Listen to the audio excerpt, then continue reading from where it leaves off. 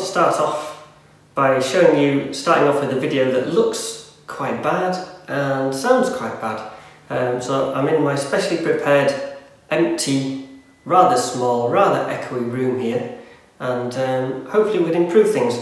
To start with I've uh, just got the, the standard light on the ceiling, it's directly above me. You should see that I look awful and gaunt and Halloweeny. I'm going to improve that by switching that off and uh, turning on some lamps which we've shoved over at one side of the room. Let's try that.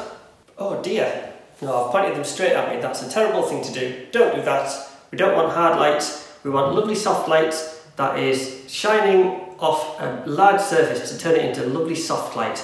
So the next best thing is to point those lights at a wall, like this. That's much better, um, but we've still got a video that sounds quite bad, and um, I'd like to Instead of using lamps, I'm going to turn those off because it's a lovely bright day outside. I'm going to position myself here because I've got a window about roughly 45 degrees over in that direction. So if I open those curtains now, we should get, turn off the lamps, we should get a lovely result. Well, that's absolutely marvellous. It's much better, a better quality light. It's bouncing around all over the place. It's what we call soft light, and it's from a lovely angle, which you should be able to see is uh, casting lovely soft shadows to my face, which should now look a bit more three-dimensional. Now we've made the lighting better, um, just got to make myself look more presentable. So first I've got to get changed, that's better, and have a shave, and then I need to sort out my hair, much better. So next we're going to sort out uh, the sound in this room. As I said, it's rather small and echoey, not the best choice. If we had a, a nice, um, nicely lit living room with lots of soft furnishings, that would be the ideal thing. This room's quite empty and echoey, like a kitchen or a bathroom would be. Uh, so it's not the most natural place, but we can improve any room if it's slightly echoey. We can improve the sound a great deal by just shoving loads of soft stuff everywhere. Okay, now um, you might be able to hear that the room is a bit more controlled now. Um, I've stuck up some duvets, a couple of rugs, an old pair of curtains, a mattress, an old sleeping bag.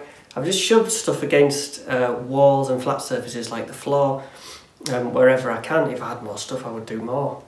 Um, but you should be able to hear that the sound of the room through the iPhone microphone is quite a lot nicer now.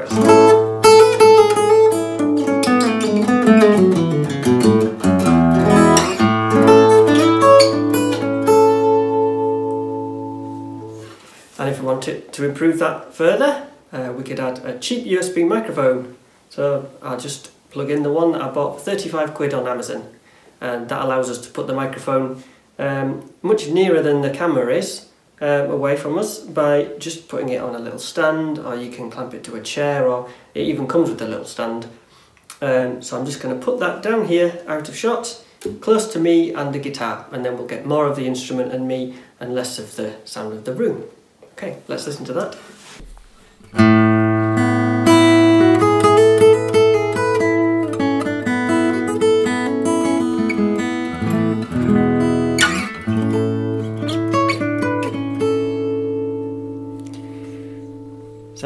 That's the sound of my guitar with this little USB microphone and uh, the guitar and the voice should both sound a lot clearer.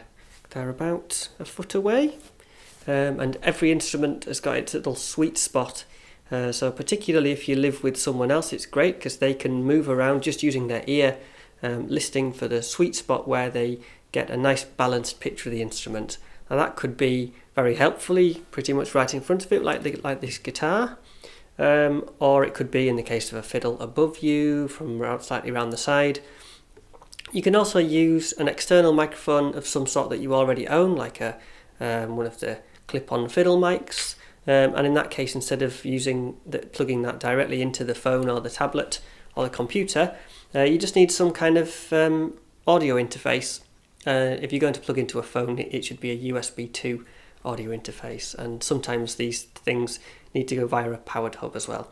Uh, so it's possible to use your um, your own microphone if you've got that as well. Remember, if you do have a clip-on mic, um, you could sellotape that or tape that onto a stand or the back of a chair or something to get that slightly further back, and that way you could use a microphone you already know uh, and and own um, as a really high quality microphone to capture your voice and the instrument from slightly further back than a normal pickup sound.